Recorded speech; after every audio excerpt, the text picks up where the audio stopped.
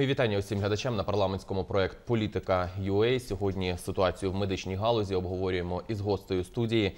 Вітайте, це голова комітету з питань охорони здоров'я Ольга Богомолець. Пані Ольго, я вас вітаю. Я вітаю. Отже, кілька тижнів тому ви написали звернення до прем'єр-міністра України Володимира Гройсмана, в якому заакцентували на серйозних проблемах у державній у державних закупівлях ліків. Чи є реакція на той лист і які власне проблеми ви там а, о, зазначили? Е, На жаль, поки що від е, прем'єр-міністра реакції немає, тому я власне сьогодні на годині уряду знову е, піднімала це питання під прем'єр-міністром. Крім того, передала інформацію в Генеральну прокуратуру, тому що ті кошти, які виділяє держава, мають використовуватись для того, щоб лікувати українських пацієнтів чесно, якісно і своєчасно. Якщо є проблеми, а проблеми є, і вони знаходяться в договорах, які заключені МОЗом з міжнародними організаціями. В цих договорах не прописані терміни поставок і не прописані терміни придатності. Тому в Україну йдуть поставки е, інколи не тільки по завищеній ціні препаратів, а ще й тих препаратів, які не можуть бути використані, у яких термін придатності закінчиться в березні, в квітні.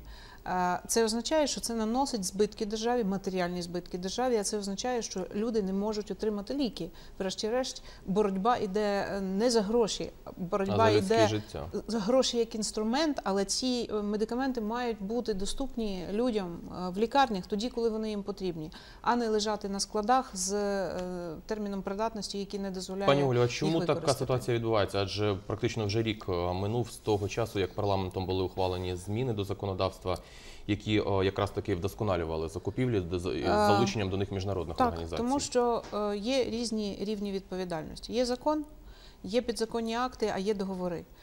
І прописувати в законі, що договір має бути заключений з терміном придатності не менше ніж рік, і поставки мають відбуватись от до такого Ну, то тобто закон дедлайну. це загальні умови, так? Так, тобто, Там але е, я змушена була подати власне вчора зареєстрований е, правка до цього закону про міжнародні закупівлі, який змушує міжнародні організації дотримуватись власне е, українського законодавства.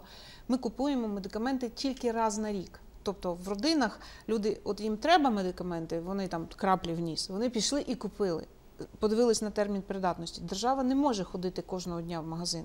Держава закупівлі робить раз на рік за бюджетні кошти. Це означає, що термін придатності у цих препаратів Як мінімум на цей рік має як бути. мінімум має бути на рік, а краще, щоб він був ще більше.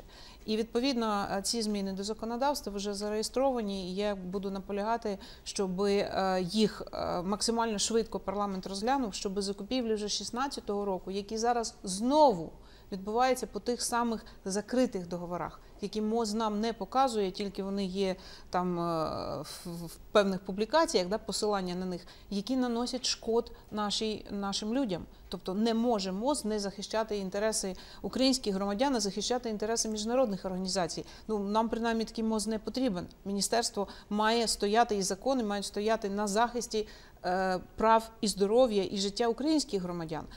Тому е, проблеми є. Ці проблеми є шляхи, як вирішувати. Головне, щоб було взаємопорозуміння сторін. І для мене дуже важливо, щоб ті закупівлі, які ще не відбулись. А власне ситуація по 2016 року вона дуже складна. Е, За гроші 2016 року 4 мільярди, які були перераховані кабінетом міністрів вже на рахунки міжнародних організацій, поставки здійснені лише на 11%. е, Поставки в регіони, тобто медикаменти за 2016 рік не зайшли. А ті, які зайдуть, у них знову буде термін придатності, е, не такий, як потрібно. Тому потрібно внести зміни в договори і вимагати, щоб міжнародні організації е, поставили медикаменти якісні е, за референтними цінами. І прикро, що це потрібно робити, регулювати на рівні закону. Прикро, що це не може бути врегульовано на рівні е, підзаконних актах чи е, звичайних договорів, де нормою ну, прописати терміни поставок і терміни придатності. Набагато швидше можна Так. було б зробити. Пані Ольго, окрім згаданих вами проблем, є також і проблеми у плануванні. Ви згадали, що ліки ми закуповуємо раз на рік. Наскільки реально фахово оцінити потреби галузі медицини, і чи дійсно в нас з цим також є серйозні проблеми? З цим є проблеми в зв'язку з тим, що не затверджені стандарти лікування.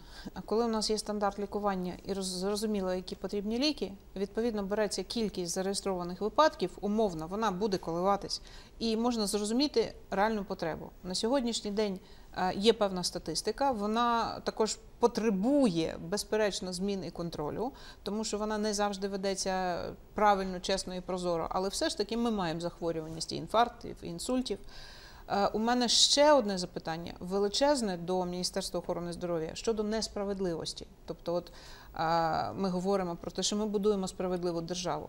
Е, Я би хотіла отримати від Міністерства охорони здоров'я відповідь на запитання: а чому гроші бюджету 2017 року міністерство розподілило так, що на лікування СНІДу і орфанних хвороб воно покрило 100% від потреби хворих, а на лікування онкології лише 14%, серцево-судинні 24%. А в минулому році було порівно. Тобто у всіх було приблизно по 65.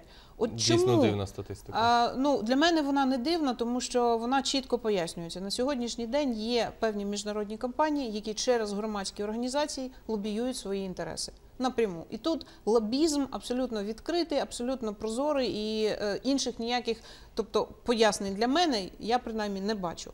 Але е, прикро, що у нас немає громадських організацій, е, які захищають інтереси хворих на онкологію. Прикро, що немає громадських організацій, які захищають е, хворих на інфаркти і інсульти, тому що їх права. Оцим лобіюванням воно вони дуже сильно порушуються. І власне ми сьогодні стоїмо на захисті. Я не проти того, щоб всі пацієнти зі СНІДом з орфанними хворобами отримали лікування. Отримали лікування. Ні. Але якщо в родині є п'ятеро дітей, не можна лікувати одного, а решта, щоб е, були без ліків. Тобто люди з онкологією, а власне серцево-судинні хвороби і онкологія, вони складають е, майже 80% від загальної смертності В в Україні. І саме ці дві е, найбільш гострі проблеми, саме за їх рахунок, від них були забрані кошти і перекинуті не за рахунок збільшення надходжень, а за рахунок несправедливого перерозподілу. І це нечесно. Так не можна поступати і е, заявляти про те, що ми боремося за справедливість, боремося за прозорість. Потрібно боротися так, щоб е, ну, не ушкоджувати інтереси тих людей. А е, чи бачите ви якісь рецепти? Адже сподівалися на міжнародні організації, як от чинник, який винищить корупцію, який буде саме проз- про- прозорість привнесе в ці закупівлі? Ем, ну, безперечно, міжнародні організації не можна казати, що тільки негатив ми отримали. Ми отримали і позитив. Але хотілося б, щоб це був суто позитив. Але якщо є ложка дьогтю в бочці меду, то я сторонник, щоб цю ложку дьогтя все ж таки з цієї бочки меду прибрати. Тому потрібно внести зміни. Потрібно змінити договори. Це було б оптимально і ідеально, якби виконуючи обов'язки міністра змінила договори з міжнародними організаціями і вимагала терміни постатків, то в поставок, терміни придатності і відповідні референтні Зокрема, ви вимагаєте, щоб А- і комітет мав доступ, так до принаймні А, до ознайомлення з цими договорами. усіма? Ну, безперечно, але для чого мета це ознайомити? Не просто їх почитати, а зрозуміти, де є проблема, чому ліки приходять не такі, як- які потрібні українцям, і чому люди потерпають від того, що ліків нема. А інший шлях це внесення змін до законодавства. І власне внесення змін до законодавства, от перший закон, перші якби зміни до закону вже подані, і далі я буду продовжувати це робити, тому що е, ну, якщо я можу це змінити на рівні законодавства, це довший шлях.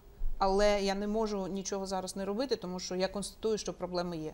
Мало того, зараз включився дуже такий активний тиск проти комітету. Публікуються, друкуються статті про те, що комітет не працює, що кворуму немає, що засідання зривається. Повна брехня. Тобто, у нас Цього тижня принаймні комітет проводив своє Е, засідання. Ну, у нас е, тільки одне засідання комітету було зірвано, тому що команда Міністерства охорони здоров'я зробила демарш.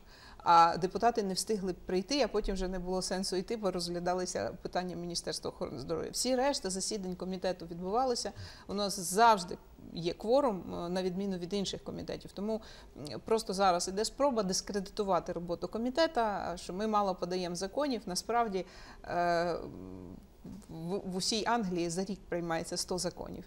І наші закони дуже складні. Закон про автономізацію, ми вже рік його вичищаємо, і ще там є помилки. Закон про трансплантацію, вже рік ми над ним працюємо, і ще є зауваження, і ще є помилки. Тобто, це закон, це не, не просто там маленький Тут не шматочок можна паперу. швидкістю, так? В охороні здоров'я абсолютно ніяким чином не можна. Тому, е, ви знаєте, я сторонник того, що я борюся за правду, і е, не дозволено нікому в Україні красти має бути. Ні громадським організаціям, ні міжнародним організаціям, ні парламентарям, ні мозу. Якщо закупівлі відбуваються, люди мають знати, хто би це не робив, це має бути зроблено чесно, прозоро. Люди мають отримати ліки своєчасно.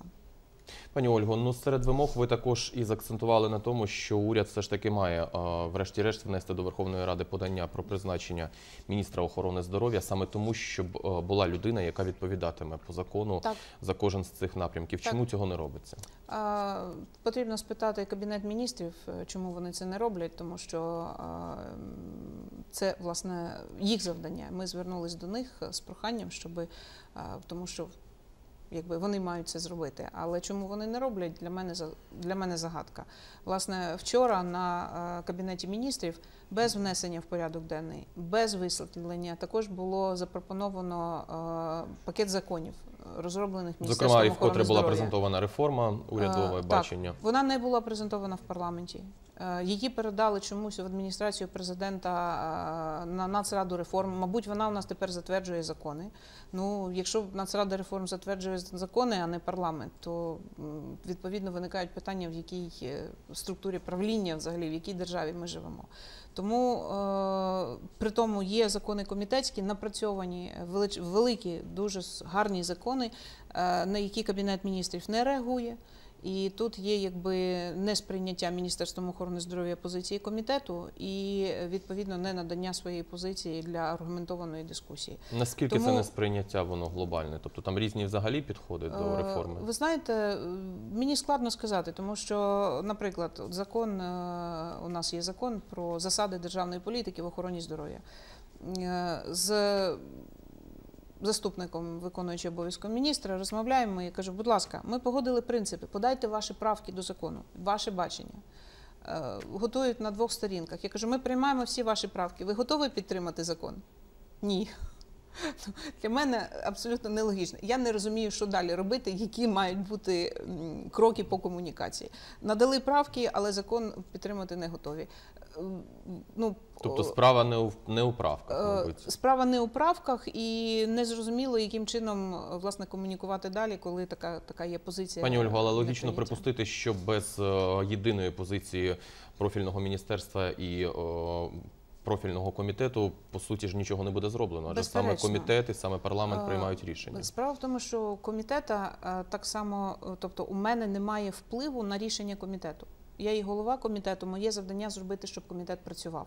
Тому я відповідальна за кворум, я відповідальна за те, щоб засідання відбувалось, і слава Богу, мені вдається рухати вперед, тому що у нас немає більшості коаліційної в комітеті. У нас представники е, меншості, їх значно більше, ніж представників більшості. Тому там будь-яких політичних рішень вони не можуть пройти через комітет. Тому дуже важливо з кожним депутатом спілкуватися. Кожен депутат відзеркалює позицію сотень тисяч людей. І піклується про їх мажоритарники, ті люди, які з областей, вони хочуть, щоб ці закони е, були правильними, щоб охорона здоров'я змінювалась. Це у всіх бажання є. Тобто немає нікого в комітеті, хто гальмує цю реформу. Тому потрібно приходити на комітет, потрібно комунікувати, потрібно доводити свої принципи. І інколи у нас е, там іде обговорення одного пункту закону годину. І це не просто там перемовини. Кожен доводить свою позицію. Ми шукаємо, і ми потім Тобто конструктивно виходимо. Ми виходимо, як зробити. Наприклад, е, ми розглядали на останньому комітеті закон про автономізацію лікувальних закладів. Ми його розглядаємо, шукаємо ті компроміси. Питання оренди. Скільки має лікарня е, дати своєї площі в оренду? Яким чином і дати лікарні можливість, щоб відкрити реабілітаційний центр, щоб відкрити медичний центр, якщо навіть комерційна організація хоче там взяти оренду, але щоб лікарня не могла перетворитись на розважальний центр, який все буде здано в оренду, а наверху один маленький кабінет. От як з цього вийти? Як знайти таке рішення, щоб е, відбулось правильно, щоб інтереси людей не постраждали? У кожного є своя позиція, і нам потрібно знайти це рішення і потім одягнути його в закон і потім прописати його так, щоб він не порушував конституцію, не порушував інші закони. Тому е, комітет працює зараз дуже конструктивно. Ми рухаємось вперед. І в даному випадку сім разів відміряє, один раз відріж, воно абсолютно виправдано, тому що ми не маємо права допускати помилок, як власне було зроблено з міжнародними закупівлями, тому що закон не проконтролював і надав можливість зловживанням, які тепер потрібно вносити правки, але люди постраждали. Е, Тобто вже ми- доводиться виправляти так, Так. помилки. Е, Я власне ще хотіла. е, Є в нас ще пару хвилин? Чи Так, вже? так, так. На материнській смертності, Е, так ви хотіли я хотіла, на цьому ну, питанні. е, знаєте, навіть не тільки на цьому, на інсинуаціях. Тому що у нас часом викидається в засоби масової інформації е, така дивна дуже е, інформація.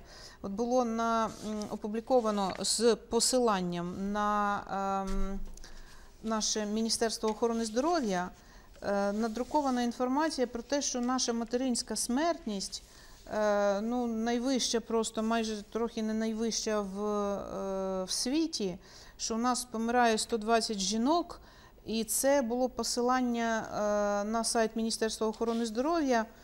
Е, І надруковано було, що міжнародні організації, от згідно з оціночними даними Міжнародної міжсекретаральної групи ООН, е, що кін- кількість материнських смертей в Україні 120 жінок е, віком від 15 до 49, 49 років. Насправді е, наші офіційні дані вдвічі менші. Тобто, Тобто є реальні наша, факти, які спростовують, Е, так? Ну, Так, наше реально, таку тобто я зробила запит і на Міністерство охорони здоров'я, щоб вони мені обґрунтували, на якій підставі вони е, ну, показують таку цифру. Отримала оцю статистику, де кожен випадок у нас на сьогоднішній день материнської смерті він фіксується, він розбирається, і власне він вдвічі менший. Тобто я не кажу, що у нас ситуація добра. Ні. Чому? Тому що в Білорусі, наприклад, якщо ми говоримо про 60 випадків материнських смертей на рік в Україні, а це ті смерті, які можна запобігти. Тобто 60 жінок можна врятувати. В Білорусі не помирають жінки, немає, тобто материнської смертності немає. Є Швеція і Данія, в них немає материнської смертності. Населення там значно менше, і ризики у нас більше. Але у нас показник е, зараз 15 на 100 тисяч е, населення, в Сполучених Штатах Америки показник 13 на 100 тисяч населення.